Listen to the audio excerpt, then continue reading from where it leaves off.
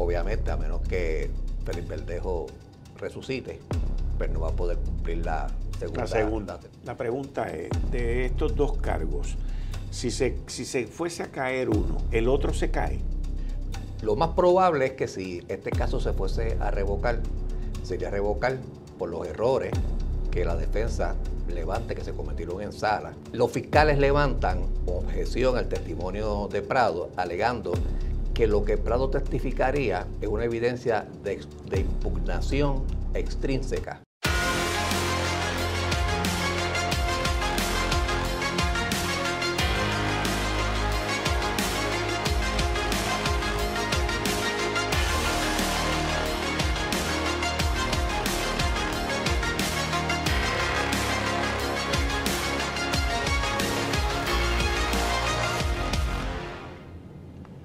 Félix Verdejo, acusado por cuatro cargos en la Corte Federal, sentenciado por dos el pasado 3 de noviembre. Dos cadenas perpetuas consecutivas. Lo primero que uno se pregunta es, pero ¿para qué meterle dos cadenas si con una es suficiente? Todo tiene una razón y todo tiene un motivo. Ya sus abogados comenzaron el proceso de apelación notificándole a la Corte el 6 de noviembre que iban a apelar la sentencia y la convicción. 6 de noviembre del 2023, el día en que Keisla Rodríguez hubiese cumplido 30 años. Convicto por secuestro y por la muerte de un por nacer. Con nosotros el ex fiscal federal Osvaldo Carlos y el abogado licenciado en defensa. Osvaldo, muchas gracias por estar con nosotros. Un placer, Quique. Vamos a comenzar por lo más sencillo quizás y lo más obvio. ¿Por qué dos cadenas perpetuas cuando con una pues ya es lo que es? Sí, pues mira, no tiene sentido jurídico desde el punto de vista de que cuando son dos cadenas perpetuas consecutivas, quiere decir que tiene que cumplir la primera y luego que cumpla la primera, pues entonces comienza a cumplir la segunda. Lo que sucede es que en el sistema federal, distinto al de Puerto Rico, que en Puerto Rico hablamos, hablamos de cadena perpetua, 99 años, pero terminas cumpliendo 25 años y ya tienes derecho a ir ante la Junta de Libertad bajo palabra. En lo federal se eliminó la Junta de Libertad bajo palabra, no existe. Así que la sentencia de vida es por la vida natural. Así que esa sentencia. Quiere decir que hasta que un doctor no certifique tu muerte en la institución, pues tú no has cumplido la sentencia.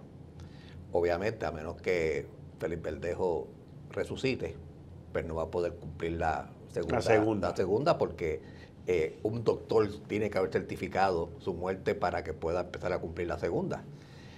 En ese sentido, pues lo que podemos este, concluir es que lo que está haciendo el juez, pues, hacer algo que los jueces de rutina hacen, porque los casos también eh, van dirigidos a, llevar un mensaje a la comunidad y tratar de evitar este tipo de, delitos, pues enviar el mensaje de, que él mismo está indignado, que la comunidad está indignada, que lo que él hizo es tan horrendo que merece dos cadenas, eh, dos sentencias de por vida, aunque no pueda cumplir eh, ambas. claro que este tipo de casos donde estamos hablando de que son crímenes pasionales, es muy difícil tú enviar mensaje porque por definición el crimen pasional es irracional y una persona que comete este tipo de, delitos y, lo vemos constantemente es el vecino que tú pensabas que jamás en su vida iba a cometer ese tipo de violación y un día por celo o por alguna otra razón pues te este, pierde la, cabeza y, ejecuta ese tipo de delitos. Eh, es más fácil tú hablar de, de enviar mensajes cuando estás hablando, por ejemplo, de gatilleros. Que tú, que tú envíes un mensaje a los demás gatilleros que están en la calle, que están, son gatilleros por opción, eh, a que están metidos en un mal negocio. Ahora comienza el proceso de apelación. El 6 de noviembre ellos le notificaron a la Corte que van a apelar ante el circuito de Boston la convicción y la sentencia. La pregunta es, de estos dos cargos, si se, si se fuese a caer uno, ¿el otro se cae? No, son, se ven de manera independiente. Y hay errores que pueden afectar un, cargo, pero puede ser que no afecten el otro cargo. O sea que no están atados, son, viven independientemente en el pliego acusatorio.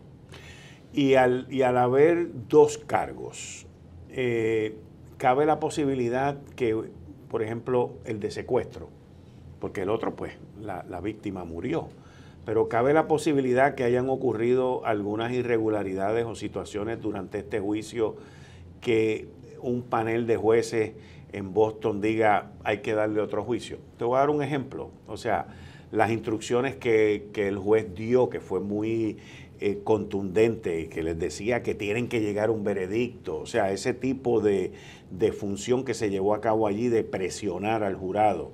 la defensa eh, pidió sentar a unos testigos que no se sentaron. Eh, y, hubo una serie de situaciones que el juez pues, le, dio le dio el beneficio a fiscalía y no a la defensa. ¿Qué, ¿Qué, áreas tú, como ex fiscal federal y ahora como abogado de defensa, verías que están abren una ruta abierta de apelación en el caso de, de Félix Verdejo? Pues mira, voy a empezar por descartándote la que no va a ser. No va a ser que Boston revoque la determinación que hizo el jurado sobre su evaluación de los hechos en el caso. Eso es prácticamente sagrado, tiene que ser un error manifiesto, algo que, choque la conciencia de los jueces y para que ellos anulen el veredicto del jurado por la razón de que se equivocaron en su apreciación de la prueba. Lo más probable es que si este caso se fuese a revocar, sería revocar por los errores que la defensa levante que se cometieron en sala, con un estándar bien alto que existe aquí, que, que es que no solamente que se cometa un error, es que el error fue de tal naturaleza que amerita la, revocación, porque a veces se comete un error, pero la, el cúmulo de la prueba es tal que los jueces dicen, sacando esto, ese error del medio, como quiera, era como quiera este, el jurado tenía suficiente tela de donde cortar. Y estamos hablando de que es un, un tribunal colegiado, o sea, estas apelaciones las atienden paneles de tres jueces en Boston. Y son tres para evitar empates. O sea que votaciones de 2 a 1 son los que resuelven estas controversias en Boston.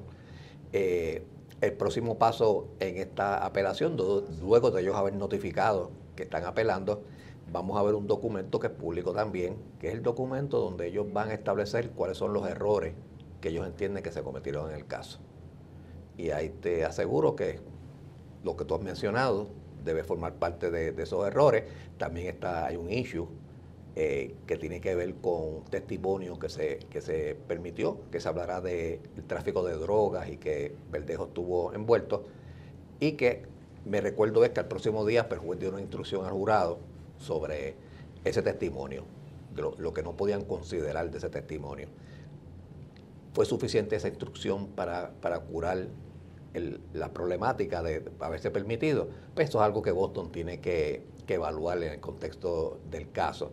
Y obviamente, pues eh, la situación del testimonio de Prado va a ser una que, es instrumental, porque las dudas que la gente que está en la calle que tienen dudas sobre si Felipe Verdejo cometió o no delito, se enfocan en lo, en lo que pasó con Prado. O sea que Prado termina como el abogado de la ex mujer de, de Verdejo, del papá de la mujer de Verdejo y de los hermanos Cádiz.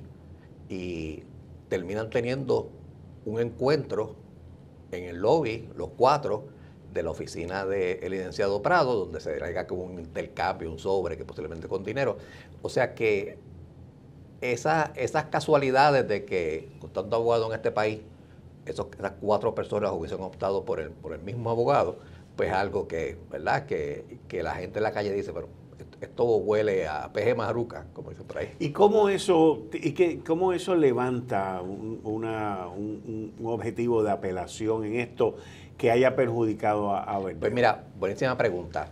Y es que el, los fiscales levantan objeción al testimonio de Prado, alegando que lo que Prado testificaría es una evidencia de, de impugnación extrínseca ¿Qué quiere decir? Que tú no puedes impugnar a un testigo eh, con eh, pruebas que no tienen que ver nada con, el caso. Eh, y, por ejemplo, tú no puedes impugnar a un testigo porque no radicó sus planillas de contribución sobre ingresos. O sea, tiene, tiene que ser algo que, se relacione con, los hechos del caso o con su testimonio. En este caso, en particular, a estos tres testigos, yo empecé las objeciones de la defensa a Cádiz, les permitieron testificar sobre, por ejemplo, que el licenciado eh, estaba alegadamente negociando eh, intercambios en vez de dinero por el pago de su honorario que si droga, que si dio instrucciones a, Cádiz de mentir a los agentes. Pues Botón puede entender que traer un testimonio de impugnación que va directamente a lo que él testificó en sala, porque se le permitió testificar sobre eso, pues entonces tú podrías argumentar que si se le permitió testificar sobre eso, se debería permitir evidencia de impugnación sobre eso, porque si no un testigo podría decir lo que le da la gana en sala, y si, y tú, si tú tienes evidencia de impugnación no la traes, aunque tú puedas argumentar, ah, esto es algo que realmente no está directamente vinculado a los hechos del caso, pero está vinculado al testimonio que se prestó en sala, y el jurado, pues posiblemente debió haber sido este, tenido la, eh, la, ventaja, ¿verdad? la oportunidad de escuchar si eso que está diciendo en sala es correcto o no. Y el resultado sería, no es una revocación, el resultado sería asignar un juicio nuevo. O sea, en caso de que ganaran una apelación. Bueno, mira, en, en, Boston, cuando llevas un caso criminal, ellos tienen la, facultad de revocar y ordenar que la persona este, pues, quede libre. Quede libre, se acabó el evento. O pueden ordenar un nuevo juicio y ese nuevo juicio lo pueden ordenar en cuanto a uno de los cargos o ambos, ¿verdad? La situación particular de Verdejo. O sea que podríamos tener un nuevo juicio y los nuevos juicios usualmente pues traen el, elemento de nuevo de, la posibilidad de una negociación, que se pueda negociar algo este, que permita que Verdejo cumpla, pero no cumpla eh, vida en cárcel. Y que pueda ser una sentencia fuerte. Eh, Verdejo es una persona joven. Eh, la diferencia entre la sentencia de vida y una sentencia de este, un término fijo de cárcel es que con la sentencia de vida tú no tienes derecho a bonificaciones. Sí, porque sales muerto. Exacto, esa es la única manera que tú sales. Si te sentencian a 40 años, pues tú puedes bonificar, portarte bien dentro del sistema, buscar rehabilitación, este, eh, coger clases que también te, te, bonifica. Y esa es la oportunidad que él tendría en, un, en el caso de que vuelva a, nuevo juicio y que los fiscales pues entiendan que es mejor alternativa en vez que volver a ver casos pues entonces traer este, un acuerdo al juez. Licenciado Osvaldo Carlos, como siempre, agradecido. Muchas gracias por estar aquí. Hasta la próxima. Te invito a que te suscribas a mi canal de YouTube bajo Enrique Quique Cruz y le dejes la campanita para que te informe del contenido que estamos publicando semanalmente. Regresamos.